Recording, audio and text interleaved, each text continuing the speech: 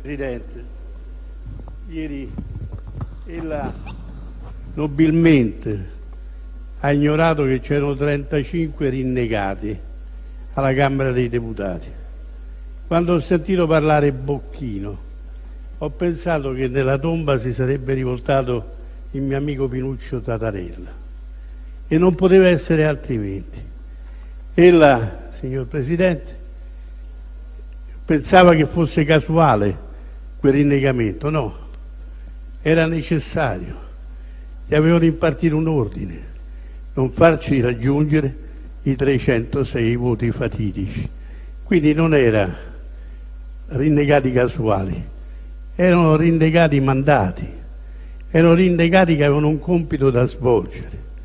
Signor Presidente, 35 parlamentari che non sarebbero mai stati eletti se non avesse fatti eleggere lei.